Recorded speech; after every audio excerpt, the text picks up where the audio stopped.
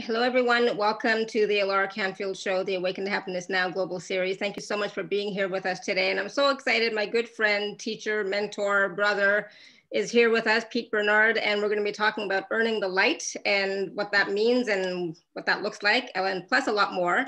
And most of you don't know Pete, I'll be honest, but some of you might. But for those of you who don't know Pete, um, he is one of my teachers, one of my mentors, and I absolutely love and adore him. I respect him. He's a wonderful healer. I've talked about him to a lot of you.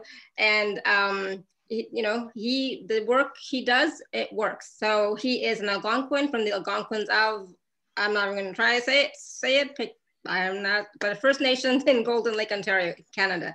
So he does do shamanism, and I've always said it's not the regular shamanism from Peru and all that kind of stuff. This is Canadian shamanism, and his interest is in healing, right? And he's been healing himself from his uh, from early childhood traumas, and of course that work is ongoing. And you have to get that healing is always going to be a, fa a fact of life, right? Healing, clearing. And so he's going to be here sharing with us and talking to us about uh, a new program. Well, it's not a new program, but it's starting in January called Earning the Light and what that means. He's also going to be doing mini readings. And I know some of you um, are going to definitely want to take part. So you want to raise your hand or you want to type your question in the chat because like I said, working with Pete is really, really, hmm, it's special, but it's really difficult. When he posts his calendar being open on Facebook, I mean, it's gone within a day, well, less than a day, an hour, two hours, it's booked, right? so sometimes I will see, you know, just like, oh my God. So then I'll go in quickly, I'll book a session. And then I'll, later on, I'm like, oh, Pete, I'm fine. I don't really need a session. Can we reschedule? but it's like, I saw the calendar, there was an opening, I took it because it's really hard to get a session with Pete. He is in high demand and because of what he does and he's awesome and amazing. So Pete, this is uh, not the first time you're here, but um, it's been a while since you've been here with us. So mm-hmm. welcome to the show. Thank you for having me. It's always an and, honor to be here. Oh, thank you. And can you just take a moment um, and share a little bit about who you are, your story, and even the type of healing work that you do before we get started? Sure. Yeah, my name is Pete, and I was born into obviously uh, an Algonquin family. So I'm Algonquin. I guess the word we use is Indian, Native, First Nations. It changes, uh, you know, week to week in terms of that. And I grew up kind of uh, in a lot of trauma. Just a lot of things happened in our family life. Um, things happened to the family. Uh, also born into intergenerational trauma as well. And, you know, trying to sort yourself. So, you know, we've had people in the family that you know, it's difficult when you understand the history of Native people in Canada. Is up until like 1960, it was illegal to do ceremony. So people who did healing before then, they would never let you know. And most of the healers at that point were kind of secretive. So I wasn't really that aware that there was also secretive healers in my family as well. And um, so I just began to learn and uh, didn't really see the practical application at the time it was just more a way of pastime or kind of taught to you as a game.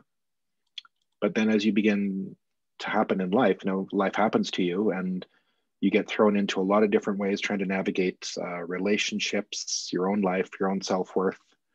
You're dealing with uh, abandonment, rejection, betrayal, all of those things. And you're just trying to find yourself. So that's really what the work is or what it became to me. Just trying to unravel what everyone told me that I was and trying to figure out my own on my own terms what I was and who I was. Absolutely. And that's the thing. Mm-hmm. It's like when we're trying to figure out who we are, it's a journey and we don't always know right away who we are, what we are, what we believe in, um, what our values are, what our truths are, what our gifts are. That's something what everybody asks, what are my gifts? But the thing is, we all know what mostly uh, some of our wounds are, right? And the, the wounds that we don't know are the ones that were like hidden, you know, and they're like in the background and we're just not aware. And those wounds are sometimes the ones that are um, playing out in our lives, right? Really controlling our lives per se. So we're not really conscious of them sometimes, but we can be, right? Mm-hmm, absolutely. Like you have a strategy to deal with generally life and then all the different aspects of life. So we know that people who have you know been scared or threatened or their security has been threatened in some way, they tend to move towards controlling more later on in life. They like to control everything and everyone around them because that's what creates security. If I'm in control of all these variables, I'm in control of the outcome, is the belief. Yeah. And so many people that I know, even in my groups, and I used to be a control freak. So I call myself a recovering control freak, but I was always trying to control everything around me so that I wouldn't feel the pain, I wouldn't feel the hurt, I wouldn't be aware of the wounding because I didn't want to deal with it. Right. So it's like, mm-hmm. I'm going to control everything. At the same time, what happens is I'm not living, right? I'm not living my life. Oh, and so well said. Like so many people survive their life. They don't really enjoy their life. Uh, it's difficult to believe you can really live your life fully when most days are just a struggle to just get through. Yeah. You're just you're just trying to not get hurt today. You're trying to not lose what you already have. The thought of actually gaining or being something more than what you are is terrifying. Yeah. Because we don't want to get we don't want to get hurt if it doesn't happen we don't want to be disappointed. We don't want to mm-hmm. lose what we've you know that little bit of control we have. And i just want to share really quickly before we go even deeper is like you know i've known pete for a while. And you know the first time that i had a session with pete i remember it was like a long time ago. And it was one of those power uh, retrieval ceremonies, right? Power retrieval um, processes, mm-hmm. which I thought was great. And I still remember it. And it was like, it was fantastic, right? And then a few years later, I was talking to my good friend Jen and I had a session with her and we're, we're talking and she goes, oh, you should take the, this, you know, class with Pete, this, this program with Pete. And I was like, oh, and I'll be honest, you know, and, and, you won't be offended, I know, but I was like, oh, you know, I'm really not into shamanism and I'm really not into mm-hmm. Indian native stuff, you know, that's just not mm-hmm. me. I said, mm-hmm. I said that to her, right? And I'm sure I said that to you too. And then I, um, I signed up late, you know, and like you accepted me into the program and I, and I signed up and I joined and it was like the best thing I have ever done, folks. The best training program I have ever done. And I've done a lot but this was by far, hands down, the best. I cannot recommend it highly enough. It was two and a half years. It was grueling, and not everybody who joined the program at the beginning stayed in the program. You mm-hmm. know, people quit, people leave. But the thing is, if you stick it out, if you stay with the program, your life changes. Your life cannot be the same as it was when you first started and mine definitely was not and it brought up so much stuff and I've, I've i've shared a little bit with some of you i mean i remember there was a time we were doing a process in the class and I was like, I thought I was going to like be annihilated. I thought, you know, all the stuff that was coming up that I was going to die in that moment. I was going to explode in that moment, you know? And it's like, I don't know what happened, you know, it's like, but the thing is, so much stuff was being was coming up so much stuff was being healed without us doing the actual processes just because we were in the program but we did the processes as well right so we were learning and teaching and like doing the processes but you know, stuff was happening behind the scenes that we weren't even aware of. And that's because of Pete's teachings, his wisdom, his healing, his guides, and etc. That it was like, as you know, if I could, like, I always said to Pete, I said, Pete, you have to do it again so that I can join via Zoom because I, I, you know, I'm going to be in Vienna. And it's like, now he's offering it on Zoom, and I'm like so excited. But this is mm-hmm. something that you really want to you know, we'll talk about later, but I mean, Pete's the real deal. You know, when people talk about the real deal, Pete is the real deal. He's not fake. He's not phony. He's not, you know, some of you know who I am because I work with you. And, you know, I, you, you always say, what would Alara say, right? What would Alara do in this situation? Well, me, when I was working with Pete, what would Pete do? what would Pete say? You know, when I was like, it's stuck in my head. Mm-hmm. What would Pete do? What would Pete say about this? Right. So Pete, I just want to honor you really as being such a wonderful teacher and such a wonderful presence of non-judgment and just love and patience because you know you were very patient with me, right? Well, thank you very much for that. You know, and I think when I look at my own life and the myriad of mistakes I've made, it just brings you to a point of compassion, like for yourself. And if you can have that for yourself, or even for other people to start, if you start with one of the two, you they'll meet in the middle. Yeah. Everyone's just trying to do the best they can and it's normal to not want to be hurt. It's normal to not want to feel disappointed. But those are the things we pass through. It's like a birthing. You have to pass through those so that you can have whatever's on the other side of that it's difficult when people you know talk about how much their wounds govern their lives. Because mm-hmm. what you do your day is basically sorted around consciously or non-consciously about avoiding certain things about avoiding certain people and avoid about not having certain conversations and not doing the things that you need to do and, and doing other stuff. Yeah. So your life your life becomes the outcome of that. And if you were to spend more time being able to just sit with your discomfort and don't have an expectation of it. Just share space with it. Because it's not going to kill you because if it if you die it dies. It's mm-hmm. not stupid. Mm-hmm. it just it just wants your presence. And if not we act like prey in our own life. We're constantly being stalked by issues and emotions and thoughts and uh, scenarios. And if you want to become the alpha in your life you've got to figure out how do we you know you and i alara are very much the same is that we we live in an eat what you kill world we go out to provide for ourselves and Yeah. you know i hunt wounds for a living Mhm. i track them i find them and i heal them and help the clients heal them i should say and Mhm. that's what i've been able to do for myself and it's given me a much better quality of life in terms of who i want to be Yeah. And that's the thing. It's like, you know, we all have wounds, wounding, right? It's that's normal. But it's like Pete doesn't la- allow those wounds to distract him from living his life, distract him from fulfilling his mission and his purpose, right? For, distract him from serving in, in the highest and best way possible. And unfortunately, that is what we do. You know, we sometimes get distracted by our wounds and our stories and we go off track. Mhm. Right? Yeah, and it's just easy because all the places that you want to get in your life, you have to pass through some pain, some discomfort, and some things you don't want to do. It's designed that way. If there was just one straight shot to what you wanted, you would have gone. Mhm. Yeah, But, absolutely. but so much of us, yeah, so much of us, like we don't want to pass through that. And you know, earning the light is about: Are you willing to pass Mhm. through a moment of pain to end a life of suffering? Mhm.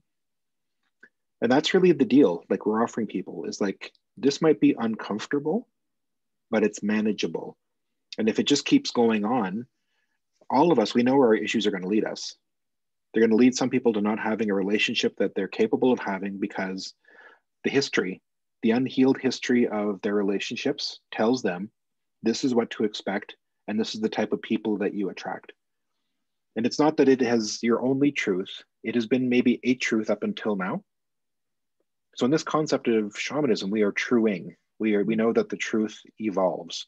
It's not that there's any one truth. I mean, because you change, therefore your interpretations change and your truth changes. Yeah. But I just see so many people deny themselves of things that they really need. We all need human connection. We all need tribe. We all need ceremony. We need love. We need to be touched. And all of these things hit up against your self-worth you know, I could have said today, oh, I don't want to go on Alara show. You know, she's got a lot of people, and there's other people who are better than me, and you mm-hmm. know, you, you know, you, you you can go through and do that whole dance for everything. But of the of the times that you are invited to show up and step up in your life, is why you're here. Yeah. And if you think about people in your life who stepped up for you, who showed up for you, they're inspiring you to show you that you're worth it. And sometimes we struggle receiving that. I know I did. We know our yeah. yeah. we know ourselves in a way that is hurt we know ourselves in a way that is being blamed or shamed or guilted.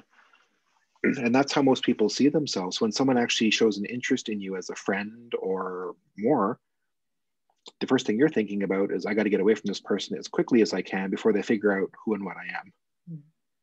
so in earning the light you know you've heard this expression before show me the parts of yourself that are bloody wounded and damaged and those are the parts that i will love first Beautiful. so we're not looking yeah so we're not looking at the people being uh, perfect or even being gifted in healing. I mean your gifts have been your wounds. It just doesn't seem like that. I mean if we could all go back and decide and choose a life that had no pain i think a lot of us would. Maybe i would. Mhm. and i'm wondering like how would that go? I mean in the beginning our wounds do teach us but ultimately love teaches us as well. Yeah. And being able to open up to both give and receive it is not easy. Because when you put yourself out there like you tell someone like how you feel like really how you feel the first thing that comes are expectations like how are they going to take it? What if they don't take it well? What if they don't reciprocate? What if they don't feel the way that i feel? And that's not the purpose of life. Is not to be guaranteed of a comeback or a return immediately or from that person. We talk about speaking our truths and the only truth is that everything is love and it's just being expressed in a way that maybe isn't ideal for you right now. But the more that you learn to open up you bring who and what you are into this world and that's what's needed. Mm-hmm. And the, even even the, you know like you just said everything is love. Even those challenges even those wounds even those experiences that you know we don't like and we wish we didn't have to go through them even those are filled with love and are loving because they're teaching us a little bit more about who we are about ourselves right and also Correct. about the experience bringing us to that that that uh, sense of awareness of what is you know and we once you know what is it's like okay i don't like this i can change it right yeah. And in the absence of an experience or a question, there's no need for us to reflect or look deeper. So when something happens, you have to evaluate this is what happened, this is how it's making me feel. These are my thoughts around it, and this is my belief that it is created or revealed. So those are the things that cause you to go deeper. And most people don't believe they can actually choose what they believe. They just think that their beliefs are their beliefs and that's that. Mm-hmm. We choose we choose our beliefs because they work for us and that's the thing that's what everybody has to get whatever beliefs you have right now even the ones you you don't like but they're serving you and that's why you have them as soon as they stop serving you or as soon as you don't give them that much power then then you can have a different reality a different uh, choice a different life right but but we think that this is what i believe and it has to stay or sometimes it's like well i don't know what i believe well you might not know consciously what you believe but your experience is showing you what your beliefs are right mm-hmm. Yes, absolutely. And more importantly, when you have a belief, a belief is a spiritual concept. It's not just a mental construct. A belief is an expectation of the universe. So what it does is it signals to the kind of environment that I want, not the one that I really want want, but it's the one that I'm creating because I don't know that I want it. If you believe that, you know, it's difficult to trust people, if that's a belief you have, there's a reason why. And to tell people like, well, you know, it's not the only way that you can be at that point your beliefs are informing your life but it's not the life that you want mm-hmm. so you're trying to figure out your beliefs are key because everything stems from it all of your emotions will play into your beliefs all of your thought process will be- go back to your beliefs and the outcomes of your life will go back to your beliefs and generally when people realize that oh you know see i was right about it they get rewarded by by predicting a negative outcome that came true mm-hmm. So it's like a, a really horrific kind of lottery that you just won. Mm.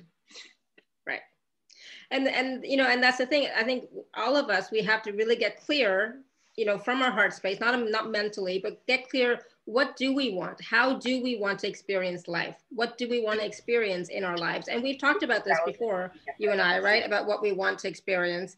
Um, and it's not always easy, right? Because we were so, uh, what's the word I'm looking for? We're so conditioned by society, by our family, by the collective, by the media of what we should want, right? So that, but mm-hmm. when we actually go deeper within ourselves and say, okay, you know, life is not working out exactly how I want. What is it that I truly want? Right. Mm-hmm. And once, and I've always, t- I always tell people, it's like, it's not going to be the million dollar house, folks. It's going to be more like, I want mm-hmm. peace. I want joy. I want, you know, some sort of quality or virtue. Yeah, and I think that's the word that we use in the program now is that we call that value. And the value is what has value to you, not what does have value to uh, you know keeping up with the Joneses. Because the things that other people are pursuing, they might they're probably not for you. Mm-hmm. Like if you want to live in a home that's kind of off grid and sustainable, that's your value. That has value to you. Yeah. But you pursue a lot of things that don't actually have value to you, but so even within your wants, you got to get clear as I may want this, but what value does it really have to me? Does it speak to my values? Does it make me feel a certain way? Does it bring me to a sense of completion or satisfaction? Absolutely. So for those, so some of you know, we just moved out into the country and um, we love it. Oh it's like so quiet, like you wouldn't believe, right? Before we were downtown Vienna, like in the most densely downtown part of Vienna you could get to, right? We were downtown and there was lots of noise, always so much noise. And here we don't see anybody. we don't hear anybody. We might hear a tractor once a, once a day, you know, but there's nothing, right? And it's so beautiful. And I've taken some pictures and some sunset um, photos and videos because it's like it's this is exactly what we wanted. We wanted the peace. We wanted the quiet. We wanted the you know the, the scenery, you know, the the trees, there's green fields. I, I don't even know what they are, but there's green fields, right? There's still flowers in bloom. For those of us in Ottawa and Toronto, you know, like, what? You know, there's green fields, flowers in bloom, all, co all colors of trees. And it's so peaceful. You, you hardly even hear a dog barking. I haven't, you know, like no roosters where we are either, right? So nothing. It's so peaceful. And this is what we were wanting. We wanted that peace and quiet. We wanted to be away from the crowds. We wanted, but you know, my husband didn't know I wanted that until like May or something when I kept saying to him, I, I, need more space. I need more space. And he's like, well, what do you mean? We're always in one bedroom or one room, right?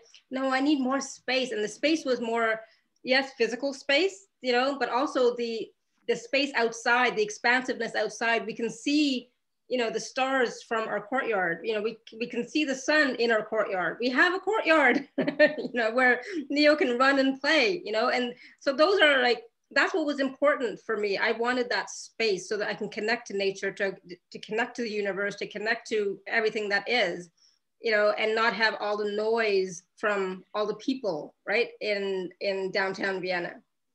So, mm-hmm. you know, get clear. What is it that, so that, that's our value. Our value is that peace and quiet, you know, that calm, right? Instead of the frantic, frenetic energy all the time, you know, a place for Neo to run because it brings us so much joy to see him running back and forth. You know, he gets so excited. So those are some of our values for us, and it's coming to pass. You know, it took a while, but we found something beautiful and we love it. And you know, it brings us joy and it brings us that calm. You know, because I can get a little intense sometimes, right? So it brought us that calm. So ask yourself, what do you want? All right. Pete, did you want to add anything to that? I know you just moved too, like, I don't know, maybe January or I don't know, time goes by so yeah. fast. Yeah, in mid-January, um, we sold our place in the west end of Ottawa. We moved to the outskirts, bought a 19-acre farm, and um, that's been life. It's been good. lots of space, lots of space, and um, it was a value that we had. Is yeah. that wanted a different kind of life, and got it. Yeah, yeah exactly right so you have to know what it is that you want right you have to and then you have to take action you have you still have to act on it Mm-hmm. All right, so I, I, wanted to remind everybody, um, Pete's gonna be doing some mini readings. So, you know, I highly recommend that you raise your hand or type your question in the chat. Pete's amazing. And any chance you can get to work with him is a gift, okay? Is a gift. So um, raise your hand and mini readings, everybody, and no general questions, no what's in my field, what's blocking me. No, it has to be something specific. You all know that right? So because I want this to be transformational for you, I want this to be helpful for you, you know. So just asking something general is not going to be helpful. Okay.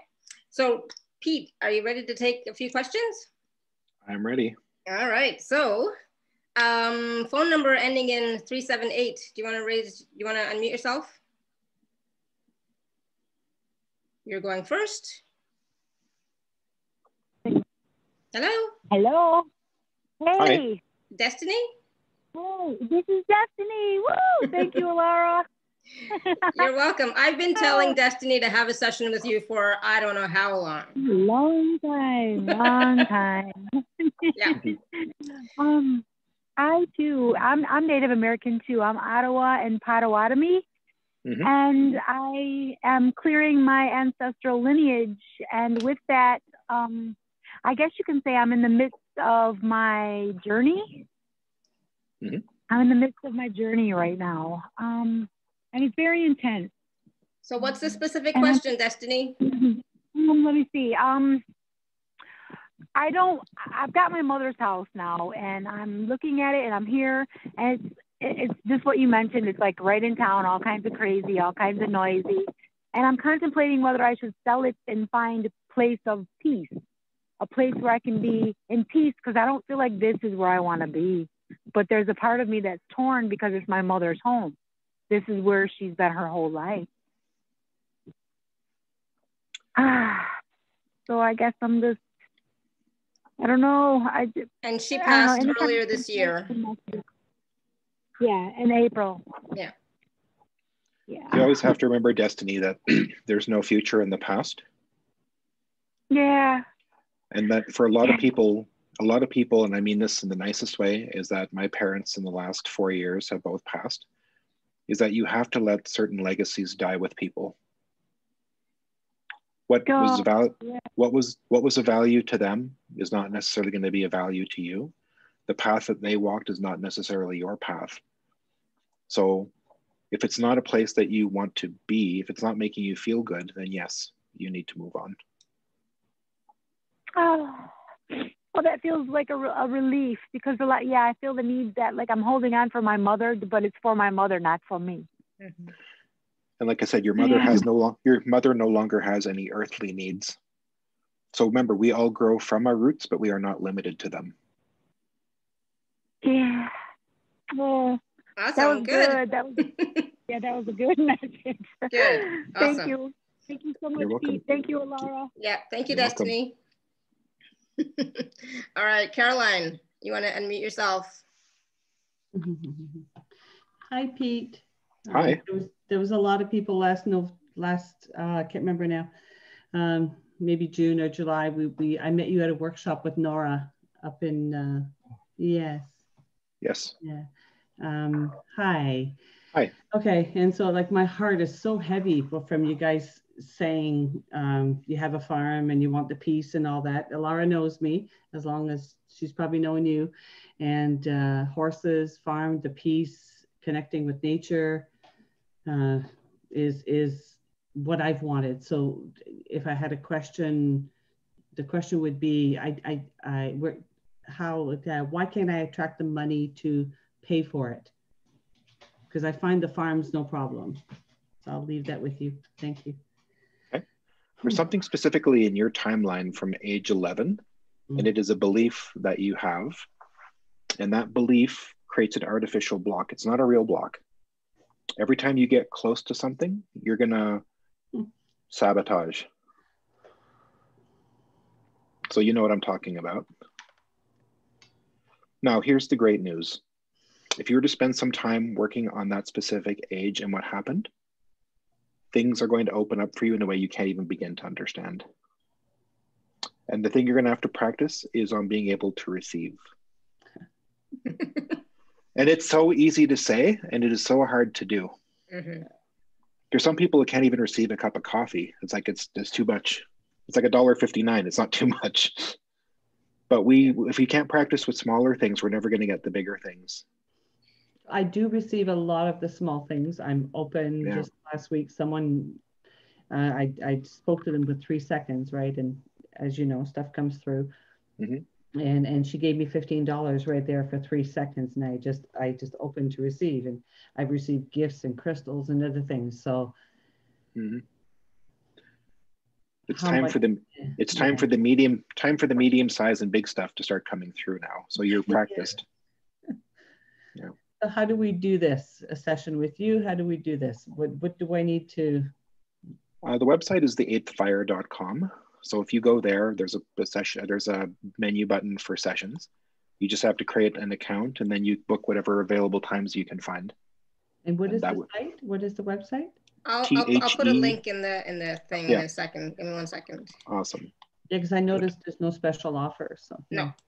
Nope, this is an offering of from my heart because I absolutely love Pete and I love my community. So it's, you know, I think they are being deprived of him. They don't know about him. So the eighthfire.com, the link is in the I chat. completely agree, by the way. And yeah, just being in it, just being in your presence, Pete. Uh, so also honoring honoring you for the gifts that you do have, um, and I can vouch for, you know, myself, everyone here. He's just an amazing, beautiful, clear channel for for uh, for healing. Thank you. Mhm.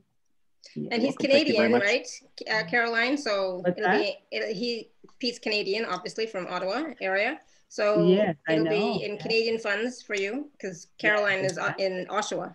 yeah. Okay, Cool. Yes, awesome. lots of love. Thank you. Thank you. Good, Uh, thank you. Yeah.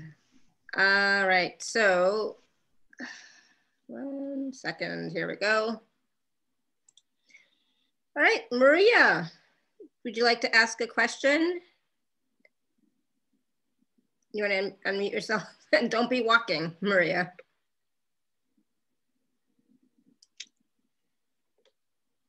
Maria? There she Hi. is. Hi. Hello. Hello. Uh, I'm sitting. Thank you. So what's your oh, question? This a, oh, this is a pleasure. Um, I have, funny, the last two calls are a resemblance of what I'm asking. Um, finances and um, freedom. And also if you would, um, mine is with my lineage. I, I have a, re a real large estate that I have to see to, family estate. And I've been procrastinating on what to do about it.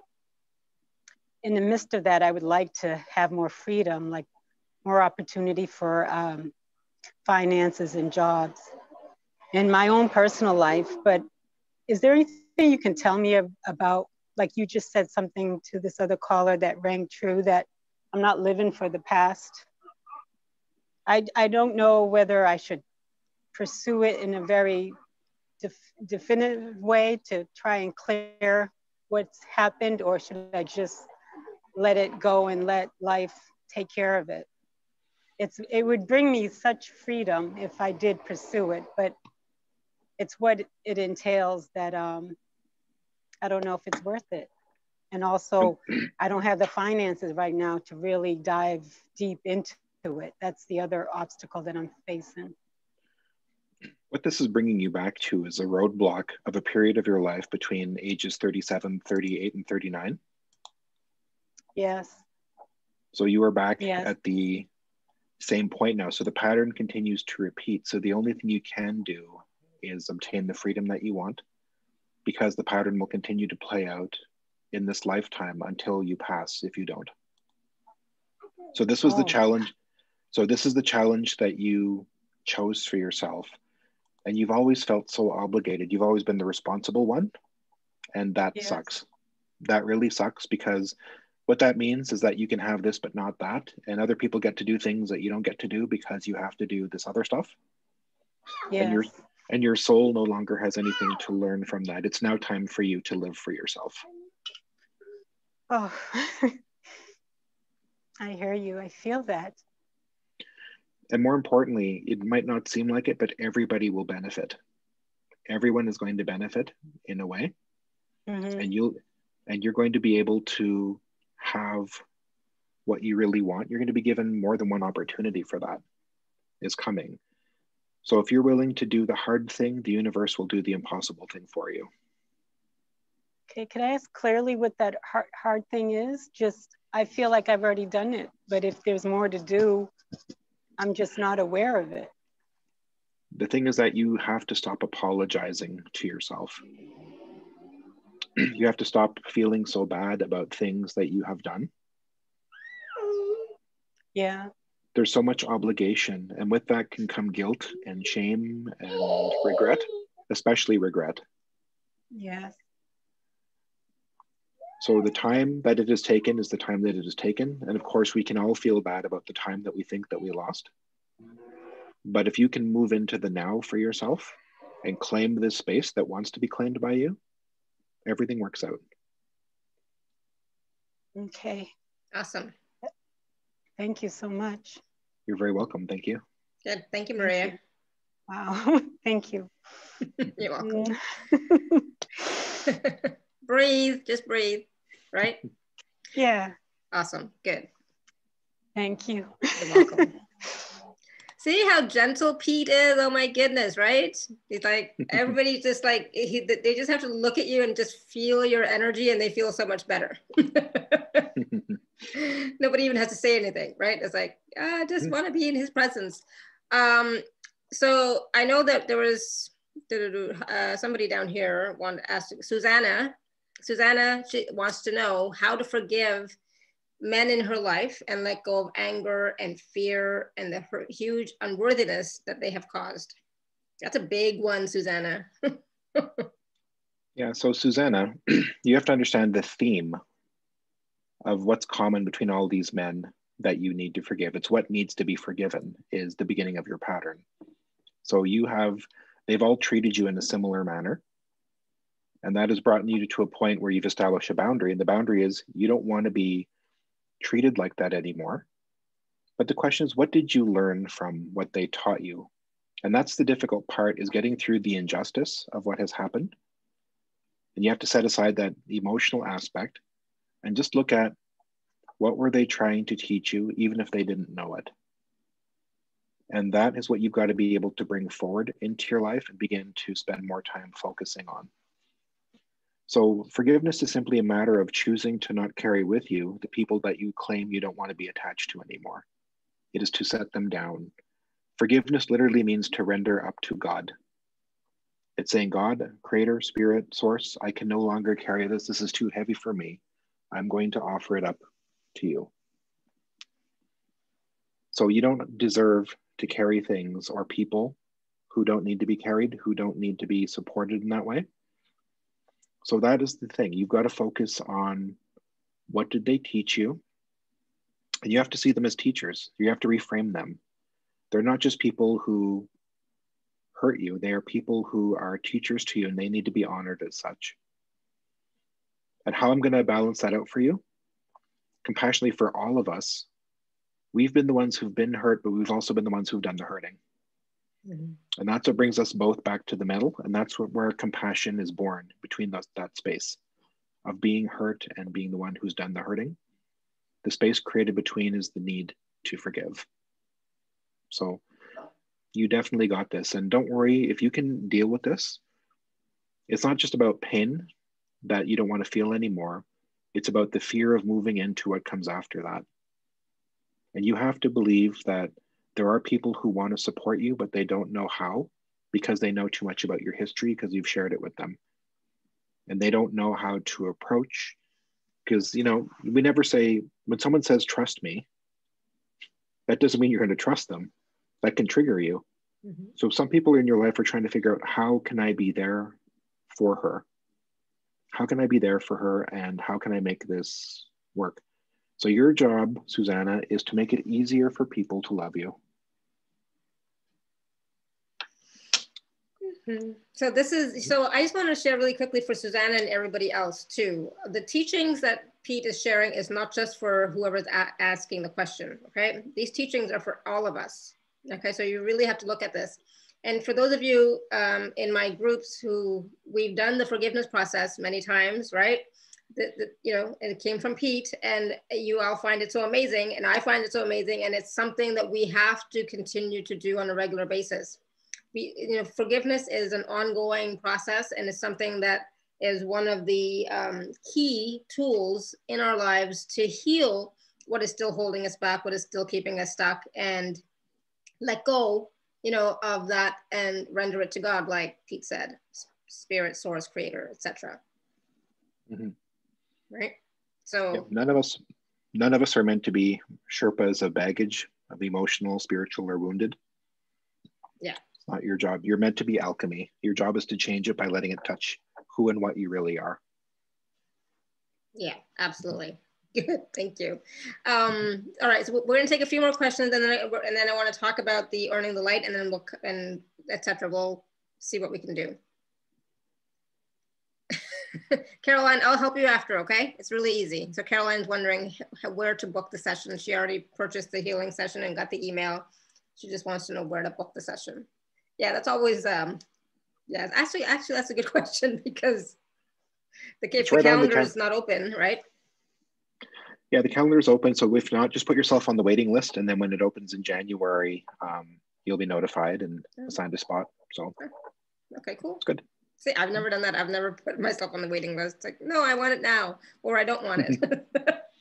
right. All right. Um, so I'm just gonna go to Emily. Do you want to unmute yourself? Yes, thank hi. you so much. You're welcome. Um, hi, Pete. Um, hi.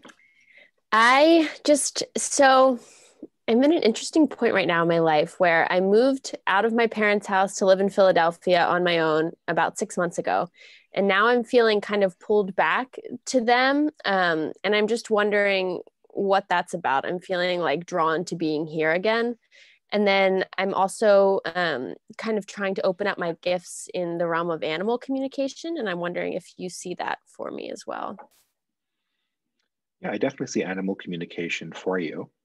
Mhm. but i think remaining in philadelphia where you are is going to bring you much more opportunity than going home. Okay. You're going home because there's a karmic calling. Okay. You're still trying to pay off your karmic debt to your parents Mm, And, and so what you're planning on doing is going there and sacrificing a part of yourself to make their lives easier. mm, And so you don't need to pay that karma, you just need to heal it. okay And it's understanding that honoring your parents and knowing what they need. Mhm. And they don't need they don't need a sacrifice. They need just presence. They need you know to be cultivated in the love that you have and in the awareness. And Mhm. every parent wants to see their child do well and be well. Mhm. And even though they might not fully understand what you're about to do, Mhm. all they need to know is that it makes you feel fulfilled.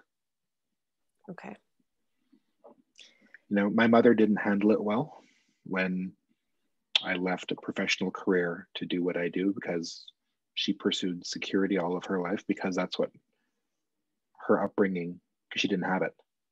Mhm. And it was heartbreaking for her and she didn't really understand. And I'm like, okay, you don't need to understand, but this is my church. This is my my thing.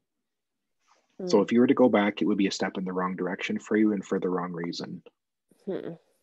okay and how There's do I wo- deal There's a woman coming, there's going to be a woman coming into your life within the next nine months.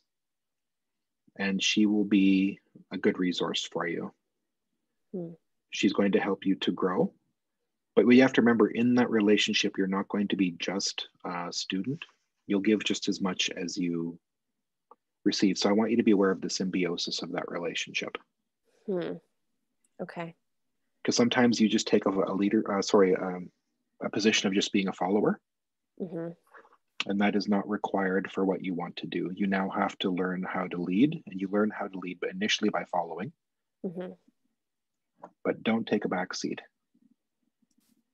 okay The same gifts that brought you to this awareness of what you want to do are have always been a part of you. They're always going to be a part of you, and if you invest in them with confidence, it makes you better. In doing what I do specifically, Emily, anyone can learn to do what I do, and I'm Mhm. very clear on that. It has nothing to do with gifts. It has to do with understanding the human condition. It's no different than working with animals. Only things animals are easier because they don't have our pretext. hmm They don't have difficulty receiving. They don't have drama in the way that we do. They don't, they're just, they receive, they're open. So their teaching for you is to apply that same kind of principle with your parents. Hmm. Very interesting. Mhm. Um, and just one more point that I, I feel pretty um, like unsafe right now being with myself in my apartment. Is there something you would suggest for that? Yeah, your apartment is not laid out properly in terms of what we would call feng shui. Okay. So where is the um, the feet of your bed? What direction Mhm. is it pointing? Is it pointing towards the door? No. Which direction do you know is it pointing towards? I don't know. Okay. Here, I'm going to give you a very basic run through, and it's simple to follow. when you are standing in the doorway of your apartment, hmm when you look around, I want you to look at the one thing that is in the wrong place. hmm Now you're going to intuitively know. It's not going to be a matter of your mind. You're going to see it. You're going to be that doesn't belong there, and I want you to move it. Okay. Don't worry about where you move it to. Where you move it to, if you know it's in the wrong place, I need you to find the right place for it. That's the second question. It doesn't belong here. Where does it belong? Okay. Because the the space above you that I can see, the shape of your ceiling, it's inducive to basically amplifying energy a little bit more. Mm. And so, because it restructures energy, it can have a stronger effect sometimes on the nature of your space and how you feel in it. Mm. So at that point, you know, your your little feng shui in your in anyone's home becomes more important. Hmm. Okay. So when I walk into a place, like I generally, I that's what I do. It's just natural for me now. Why is this here? It doesn't belong here. What function does it serve?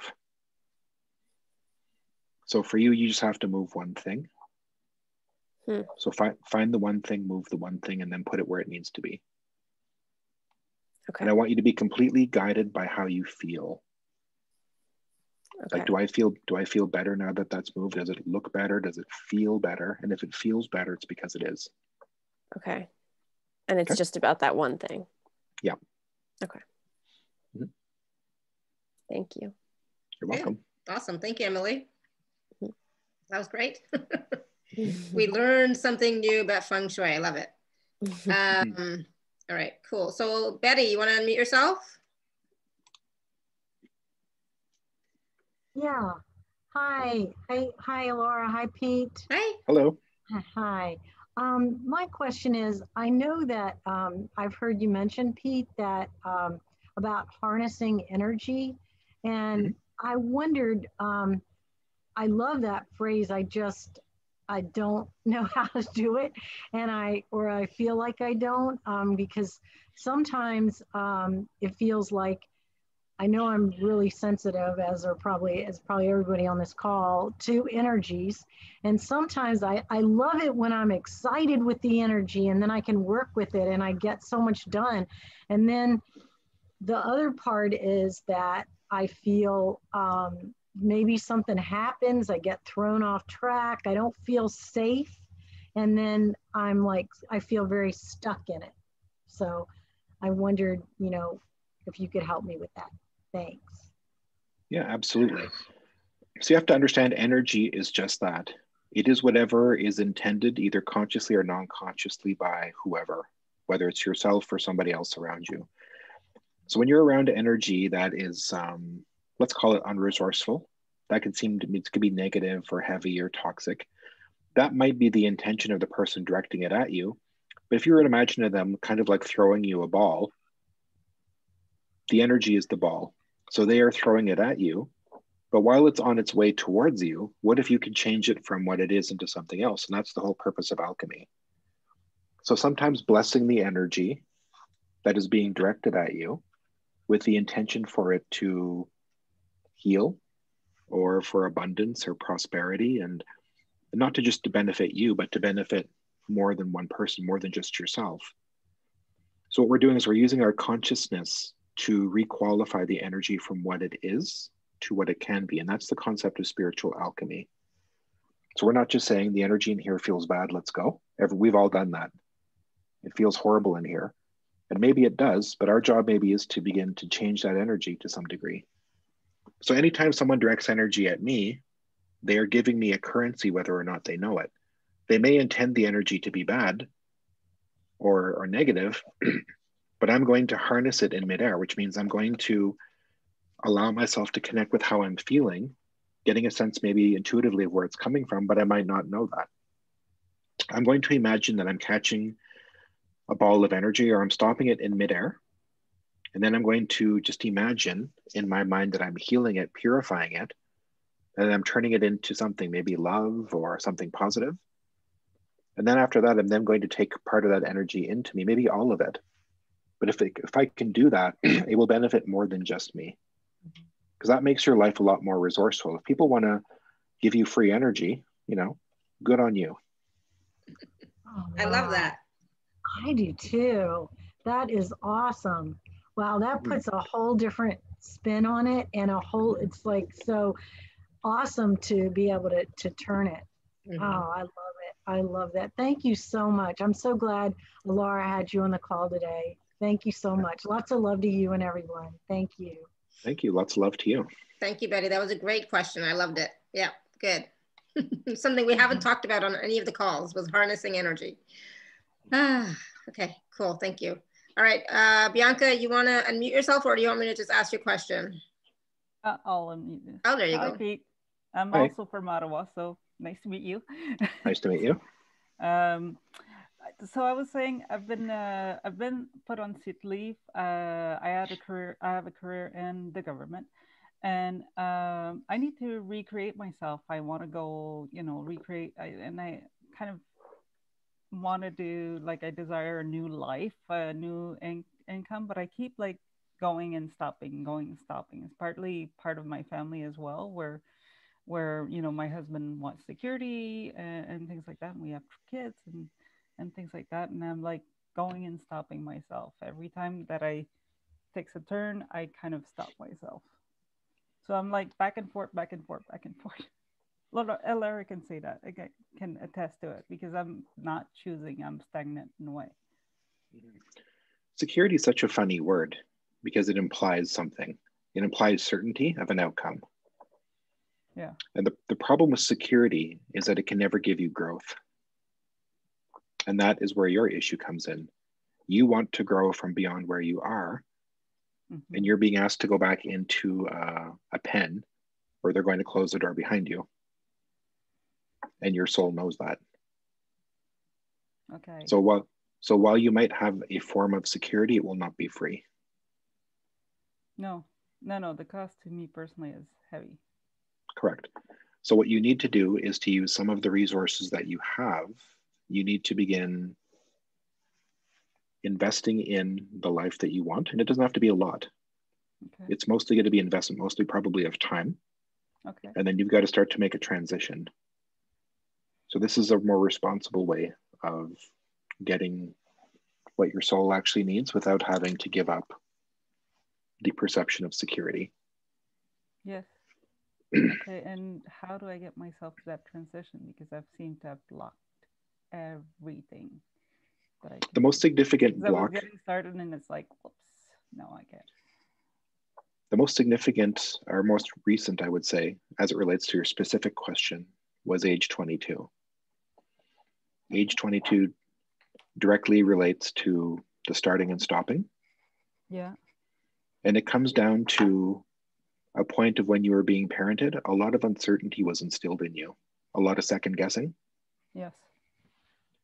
And that second guessing prevented you from stepping into your power. Okay. You never became an alpha in your own life. No. Yeah. And and every time you ask advice, it's well intended. And when people give it, it's well intended. But it's a substitute for your own soul's calling. So your soul is equally calling you, but other people are calling you and you're answering their voices and not your own. Yeah i'm second guessing myself a lot. Yeah. Yeah. And so the premise is um, what i love about shamanism is that for us nothing is right or wrong. Everything is an exploration. And when i do that it takes so much pressure off of me like i don't have to get this right i just have to explore and eventually i will find the way i made the same transition that you did okay you know i used to work for the federal government for a while too in addition to having other careers and you know, I was able to just listen to a voice that didn't make any sense. Not logical, it, but so much fun. yeah. Yeah. My logical mind was like, what are you doing? This is nuts. Yeah. The first month I, I did this full time, I didn't necessarily make a lot of money. The second month I made a little bit more. I mean, and just I didn't have a lot of savings at the time. But what I really did is I married what I did. That's what I want you to understand that makes me maybe a little bit different than some people. Okay. Is this is not a job for me. It is not a career for me. I got engaged to what I was going to do. I married what I did for better or for worse. And I made the promise that no matter what happens, I will always do the work. Even if I have to get a part time job or whatever and do the other stuff part time, I will commit to it because it's important to me and my soul. Okay. Yeah. That and that's sense. and that's the level of commitment that you're going to have to make at some point with the things that are important to you. Okay. You need growth, you don't need security in the way that you think. And I can only speak from that, you know, my mom used to say, you know, well, I just want you to have security. You're going to need uh, these benefits. And I said, Mom, would it be better for me to be in a job that I love where I don't, I'm not going to need health benefits because I'm not going to get sick from stress? Or do you want me to be in an environment that's going to stress me out where I'm going to need those benefits because I really am sick? Yeah. Yeah, but that, when that we yeah because people always say to you um, you know you have to hope for the best and plan for the worst. That's the stupidest thing anybody can do. It creates such duality. Like those are two completely different outcomes and you can't serve two masters. No. i mean No, you can take yeah you can take reasonable precautions for anything and you should. But to simply plan for the worst is not how i plan on living my life. Mm-hmm. Whatever time I have. It's just I would rather sit on my park bench and have my coffee and be whatever I'm going to be versus versus worrying about things that I can't control. And remember, when your husband wants you to have security, it's well intended. I'm not saying it's not a good goal, but the the, the thing is for most people is that being too secure means no growing and it means no change and it means stagnancy. You're going to stagnate. Yeah, and that's not fun. That's I've been there for a while. Yeah. And everything that you're going through right now will be part of your teachings that you begin to teach other people when you're working with them. I've been where you've been. This is what you're going to do next. This is what I did. This is what you're doing right now. And this is how we get through it. All of our blocks for all of us help us navigate for other people as tour guides. Okay. Yeah. you know like my my ex-girlfriend you know um back in the day like all of her friends were in different kinds of careers and she never really knew how to introduce me. Because they were all professionals in some degree. And then it was like um i would tell people what i would do and this is what they would say you must find that very rewarding. So what does that mean? That what you do is not rewarding? Mhm. For a lot of people, I'm guessing, yeah, the saddest thing my dad ever said was, "Oh, don't, you know, don't choose for your heart. Ninety percent of the people go to work just to make money." And I was like, I started crying right away Mm. because it's true. Ninety percent of the people go to work to make money. They don't Yeah. like what they do. and it's interesting with jobs you know because for jobs that we get you apply for the job so we can't even really we can't even really complain No, because I always tell people it's just as hard to apply for a bad job that it is for one that you're gonna like more. But Right. this is not a job. This is like recreating myself. So now I'm like, "Eh, okay, what do I do now? It's So- fun. So Pete, do you do you see Bianca as a healer of some sort? I see her actually more in terms of coaching, but obviously healing is obviously implied in that. I mean, coaching and healing are very interchangeable. It just depends on the style. But I definitely see her in like a coaching type setting, coaching program, and she'd really be able to tap into her existing base with what she currently has. And a lot of people are in need of it now. So, Yeah. Yeah. Sounds Just giving a little bit more of a little push nudge kind of thing here. Mhm. So Mhm. Alara's like, go.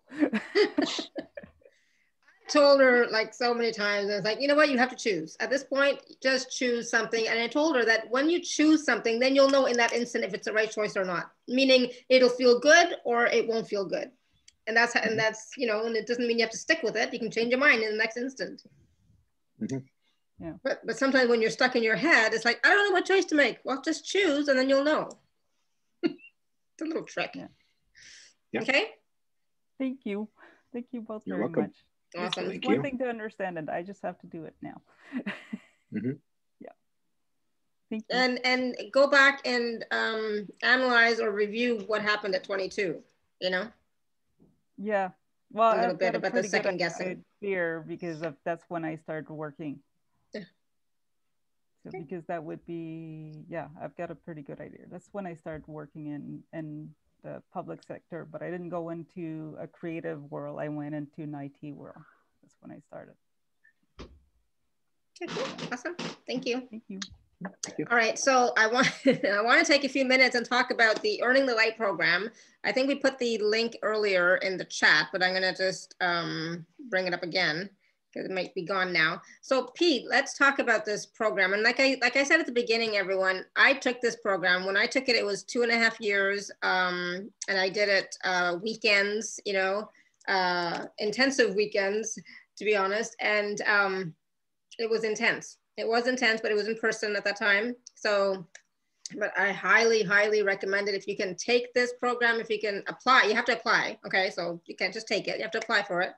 Um, there are uh, payment plans and all that wonderful stuff. It is, it's worth it. That's all I gotta say. It is worth it. I get nothing from this, so don't think that it's I'm getting any affiliate commission. I get nothing from this, but I, I highly recommend it. So go ahead, Pete. Do your spiel. All right. so the Earning the Light program, the reason why we call it Earning the Light, and people message me, it's like, well, you can't earn your light. We're all light. The thing is, we are all light, but we're also light that doesn't step up. We are light that backs away from things that are difficult. we we don't step up in our lives. So yeah, we are the light. We're the reluctant light. so in earning the light, you are earning your own light by looking at your core issues. So we start with abandonment, rejection, betrayal, your self-worth. You learn how to perceive beyond the physical senses. You learn to learn to look into the emotional body, the spiritual body, into uh, beliefs, agreements. You start looking at patterns in your life because if you're going to try healing your life issue by issue or instance by instance, it will you'll never have enough time to do it. So you learn to start categorizing things that have happened into themes. You're going to learn how to heal the first time it happened, the last time it happened, and the worst time it happened. Those three points will collapse the entire timeline of everything that's happened you learn to do that. you learn to really look at um, what are your non-conscious beliefs that are guiding you. And more importantly, in trauma, you're going to learn to look and find the parts of yourself that you left behind, learn how to heal them, learn how to bring them back into you, be more integrated, and you're going to get comfortable with letting your life change for the better. You're going to be learn to not try to overprotect everybody in your life from you. You're going to learn to just be a better version of yourself so yeah, you're learning how to deal with bad medicine or bad energy. You're learning how to heal it, how to heal spaces. You're learning how to literally um, manipulate time in a way that can be used for healing. So you saw me today pulling out ages for people, you know, that were really valuable to them. And to them, it seems like a really big deal because they think, oh, wow, he can do this. And I can do it, but I'm telling you, I can teach you how to do it. Mm-hmm. And that's what's really important. You learn how to really bend reality Reality is a suggestion. It's an agreed upon collusion that we all have. These are the rules. Like the matrix, some of these rules can be bent and some of them can be broken. So that's our consciousness. So we're learning how to really work with our consciousness. You're learning how to meet your animal totems, your spirit guides. You're learning how to heal into uh, your agreements, your contracts. You're learning how to renegotiate, more importantly. You're learning how to heal your karma, your past lives. We do journeys for that. You're learning how to do astral projection. You're learning how to read the Akashic Records, which is part of what I was doing today. So that's where I am right now when I'm doing readings for people. I'm actually up in the Akashic Records holding a book with your name on it. And so, you know, depending on who I'm reading for, I'm just passing books back and forth to the uh, to the librarian, you know, or the record keeper. So all of these things seem like they're really out of reach, but if you learn how to learn how to trust yourself and to just do the work in class, we can make anyone a proficient healer in two years with no experience. You don't need to be gifted. You don't need to have had a near death experience. You don't need to have an entourage of spirits around you. You just have to have a desire to learn. And it's not woo woo. No, everything that we do is very tangible. So you learn how to bring yourself into it, which is what we expect.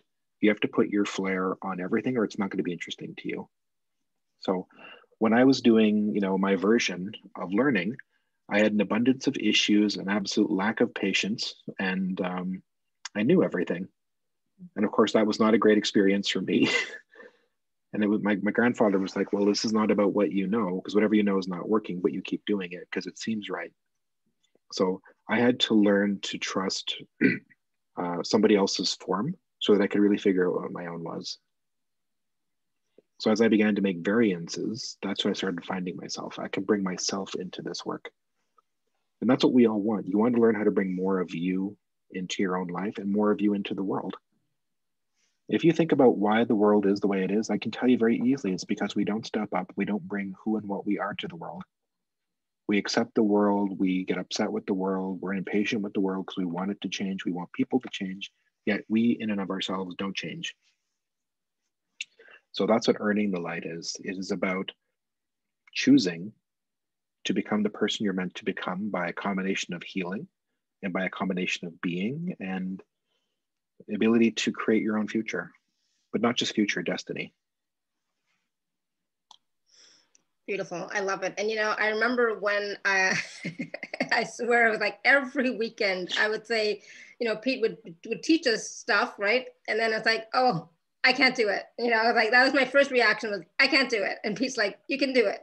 it's like, no, no, no, I can't do it. And then of course I did it, right? And, and, and then it was so easy. So I always had that fear at the beginning of I can't do it because Pete's so amazing and he does it with so um, uh, flawlessly and with so much ease. It's like, oh, I can never do that, you know. But now, you know, then I would do it in, in, in the class and it's like, no problem, piece of cake, you know, it's like, yeah, awesome.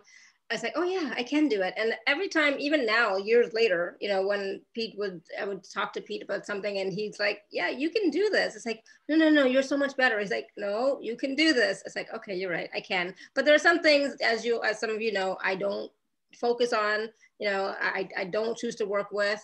But in the program, you learn everything and it's amazing and there's so much um, healing that happens in the program during the during the weekends or however it's going to be this time it's going to be on zoom. But there's so much healing that happens and our job is just to show up really. That's that's your job it's just to show up. Everything else will work itself out. You know i you know i always think like there must have been like teams of guides working with all of us as we were in that class because like Pete's talking and stuff is going on within me, you know, things things are coming up and things are changing. And I'm like, oh my God, right? And we haven't even done a process, you know. So it's like, okay, so things were always happening. And they start a couple of days before the actual class, right? And that's why it's like this is about change. Are you are you wanting to change your life? Are you wanting something different? Are you wanting something better for yourself? You know, change can be scary, but you know, life is all about change and for mm-hmm. the and the you know most of you some of you who are on these calls day after day you know there are some things in your lives that are not working right? And but you want them to change. So you know and you and you want your life to be better or you want you know things to be better for you. So yes it's possible. And you know a lot of um, people on these shows and on these calls they talk about oh my God, do I have to continue healing? How much more healing do I have to do? How much more clearing do I have to do? Is this going to be a lifetime thing? You know, I don't know, maybe. I mean, I don't do healing work every day on myself, you know? Yeah, until you learn how to live. And at some point, your living will become healing as it's happening. Hmm. If you have real deep love in your life, sometimes that's the cure all. Yeah because if you have that sometimes it doesn't matter what's happened to you just we're trying to get there. It is about loving yourself accepting yourself being an allowance and receiving right? We're always receiving from the universe but are you receiving consciously right? And and i think you know i, I have to take that back. We're not always receiving. A lot of times we have our hands up and saying no right? But it mm-hmm. is about learning to receive learning to receive the support from the universe and from everybody, humanity around us, everybody. You know, and it's not easy. That was one of my stories. Was I always said I'm not supported. I have no support. You know, mm-hmm. and um, I don't say that anymore. so that is that has been cleared. That's been healed and cleared. I don't have to say that anymore, right? But I didn't know that that was a thing for myself until I started going through the program you know, I'm sure there, there was lots of other stuff too, but you know, like that was one of the things, right? And Pete said that specifically, you know, it's like, oh, yeah, okay, but it took me, you know, a while to get it. And so it's okay, you know, it's okay if it takes you a while. And the thing is with this program, you know, it's if it's gentle, but it's intense, right? So you have to be wanting to change. You have to be willing to do the work. And the work is showing up in the class. That's it and then doing the processes because you know you're going to be partnered up with somebody and you're going to do it. But it's just showing up. And like i said when we were in the program not everybody stayed till the end. It's and like and yeah and uh, alara and i saw that. And you know alara and i had this conversation in class. And you know our takeaway was that you're either going to do the work and you should because your issue is every day your issue puts the screws to you. It is yeah. doing the work. It shows up you know, you, have you ever thought like, you know, I don't really need to have time for anxiety today? It doesn't go to the back of the line. it jumps to line. It's like I showed up. I'm ready to work. Yeah. Let's get Are let's you? get you anxious. Yeah. You need a you need a freak out right now. I've done the work. I've been outside doing squats. You know, I'm ready to go. Your issue is going to outwork you until you learn how to do the work. Mm-hmm. Mm-hmm. And so some of you may not know what that means, what the work is, right? And so that is what you will learn in the program. What does Pete mean by the work? And a lot of times it is about being present, you know, really being present and being willing to be with that wound, with that story, and allowing whatever it is to come up. And then, you know, using the tools to, to heal it and clear it. But a lot of times we don't want to face what's there, you know, I know I didn't, right? And uh, yeah, I remember Pete saying at one point, "Oh, I didn't even know that about you," because something had come up, and it's like you never once mentioned that, you know. And it's like, mm, yeah, because I that was, you know, in the back, pushed back, pushed way, way, way back, and I didn't want to deal with it. But Mhm. all your stuff comes up.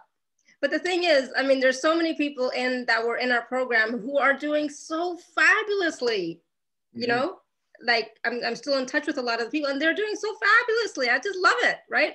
And so yes you have to do the work when the work is required. But it doesn't mean that every day i'm looking for something to clear. No i have enough other stuff to do right? So that's that. I will put the link in the email as well and on on youtube and the podcast but please do take a look at it. Please apply even if you have like a little bit of an inkling. It's like oh maybe. Go ahead and apply right um, and then see, you know, and like I said, there is a payment plan, thank goodness, because, you know, we all need it, right? So there's a payment plan and um, just ask your soul, you know, do I want to do this? You know, will this benefit me? And the soul is going to be like, do you want to grow? the answer will be you. yes. I, I promise you it will change your life. That's my promise. Yeah, I You're can not gonna- guarantee that. Yeah. Yeah, absolutely. It will change your life and it'll change your life for the better. I mean, my life now is so much better than what it was. And I'm a totally different person than I was when I first started the program. Do you remember, Pete? I was like, I was so full of myself. And I was like, I don't know what the heck I thought I was. Oh my God. It was just amazing. And And it's to like, see what you yeah, to see what you've chosen for yourself, what you've manifested, and everything that you said that you wanted to do, you're doing. And you know, that's why you're an inspiration to, you know, so many of us and you know, your your callers and your followers. So it's good. I mean, everyone sees somebody when they are at the end of what they call success, when they've achieved it, they don't see the path of how they got there and how, you know, I was neurotic and I had panic attacks and anxiety and, you know, question my own self-worth. And then one day it's just like, this is crazy. You got to step up Yeah. because my, the work, you know, my issues were doing the work and I wasn't. I mean, we I all that. have to ask what, we all have to ask one question is like, why do our issues never just fade? Your dreams do, your hopes do, but why do your dream, like, why do your issues never just seem to fade out? Why do they always seem to maintain that intensity? It's because they do the work. So you need to do the work. You have to outwork your issues, and it's not that hard. mhm, it's This not is that hard. this is different. This is different. yeah this is different totally different. It's it's really Mhm. so and even if you i mean it's just the, the two-year program show up your your issues will start to come up by themselves and they'll start to get healed and cleared. Trust me you know you will be a different person just being in the program. After that if you keep do the do the work do the processes or do something else it's whatever but your life will change in those two years. I guarantee it um, so Pete, somebody was asking, Angela was asking really quickly about the energies right now, and you're like, and I just, I just wanted to finish off with that really quickly because you're really, you have a pulse point with when it comes to energies and what's going on. And I always try and share. Sometimes when you say, okay, it's really chaotic right now, but it'll pass in two and a half days or something, right? So I try and share that because then it's like, this too shall pass, this too shall pass. But what, ha- what do you perceive right now is going on that can help people? Right now, the opportunity is that people are being brought to an awareness of time, their time. And what they're realizing is either they don't have enough of it, but we've on people on the other side of the coin who are now beginning to feel bored, which is a blessing. Mm-hmm. And if you can feel bored, that means a part of you is at peace. So good on you. So in the time we're at, it's we're kind of neutraling out right now. It's not as intense as it has been, but we've got another dip coming on the 23rd. On November 23rd, we've got a dip coming probably around 10, 17 a.m. Eastern time, and that's going to last for probably about three and a half days. Mm-hmm. Now, when the dips happen, people think it's bad. No, it actually it makes it easier for you to get down to your deeper issues. The more it dips, it's like the tide. When the tide goes out, you can now walk on parts of the beaches that was underwater before. Mm-hmm. So you don't have to dig as deep. So when that stuff comes up, pick the most important thing to you and just be able to sit with it or work with it or make friends with it to a degree. And that's how your life improves. That's how you use the calendar, like the energetic updates that I give. It's not about avoiding anything, it's about how to use it. It's all utilization. Mm-hmm. Alchemy, you were talking about that before. It's about alchemy and how we can change the energies that we're perceiving, right? If they're heavy, we can harness them, transmute them to something else, something better for ourselves, humanity, the collective, our families, etc. So mm-hmm. I'm glad Betty asked that question, but it's it's something that we have to be aware of. You know, instead of going to judgment and fear as like, oh my God, the energies are so bad right now. No, take that opportunity to do the work on yourself. Just get, you know, get clear with it. Say what's going on here, what's coming up for me, and at the same time transmute that energy. Just use, mm-hmm. you know, your intention and and uh, you know harness it, transmute it to something that will work for you right? The energies are all here to work for us. They're not um, here to make us suffer or have a bad day or anything like that. No, you know, they're here to work with us and for us. So use them in that way. Yeah, even when even when sailors were out on the sea, you know, the wind is your friend. Mm-hmm. It's not, oh, the wind is blowing us this direction. You learn how to harness it literally in a sail. You've got a rudder, and with everything is working together, you learn how to harness it and go wherever you're going. Even a storm has a benefit. Mm-hmm. Absolutely. Beautiful. I love it. So everything can be a benefit to you and your life. Okay. To you creating your life, to you living your best life, being the best version of you, the better version of you, everything can help you with that. Okay. So, mm-hmm. oh my goodness, awesome. So again, you know, please do take a look at the Earning the Light package or program. Um, it's at the Earning the Light training program. I will put the links in the emails and etc. But apply if you have a, like a, an inkling of oh I think this might be good for me. Apply and then go from there. Okay, there's no pressure, of course, but just apply and then go from there. Um, just really quickly about these dips. I will always be alchemizing these energies. How do I move to a stronger side of peace? Keep doing the work. I do much work daily and have been awake for a long time. Why am I keeping myself in struggle? to not live for my soul and service. Pete, do you want to just ask that, answer that really quickly before I go? Uh, poor uh, M had her hand had her hand raised for a long time. I didn't. I did. I missed her. I think it's a What's her. name? M. M. Okay, M. Here's a very serious answer for you. You're afraid if you step up further than what you already have, people are going to be making an exodus from your life. And it is true. You are going to continue to lose people. But if you do it, I also guarantee you new people are going to come into your life. Can't play small anymore. It's not just about service, it's about fulfillment. And you can continue to give from an empty cup. You give from your overflow. That's how we grow gods. That's how we grow people. Mm-hmm. Yeah. There's mm-hmm. no one in my life now. Well, we're here. Nothing then you've got nothing to lose. right, mm but but we're here, M. So there's not no one. We're here, but yeah, I mean, what have you got to lose? And that's what you know. You always have to ask that question. I, I don't like it. It sounds negative, but I've got nothing to lose. Why not try it? Why not step forward? Why not do this? Why not do that?